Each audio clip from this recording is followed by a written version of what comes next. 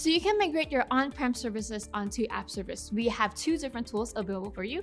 One is called the App Service Migration Tool and the other is called the Azure Migrate. So let's get started with the first App Service Migration Tool. So for the App Service Migration Tool, what it supports is that, you know, of course, the languages such as Java and .NET, you'll be able to migrate these on-prem services onto app service. So these tools runs like checks for you to understand what perhaps isn't currently supported or what perhaps you have to change in order for you to complete the smooth, easy migration process. And then let's say you have like a really big workload, whereas you're working with things such as, let's say, storage, and you want to be able to migrate all these on-prem services onto Azure, you could look at the Azure Migrate. So the Azure Migrate helps out the migration with the different resources as well in Azure, such as storage, as what I've mentioned.